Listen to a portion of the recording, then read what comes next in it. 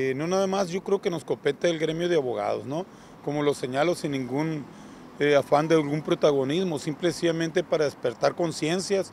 eh, tanto de la sociedad en general como cualquier orden de gobierno, de gobierno que quiera apoyar, que, quiera, que nos quiera ayudar a, esta recolecta de juguetes. Para el 6 de enero tenemos contemplada una posada que ya, que ya una empresa ya nos, ya nos hizo el gran honor y favor de, otorgarnos para,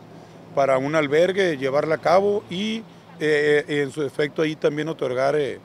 este, donaciones de juguetes.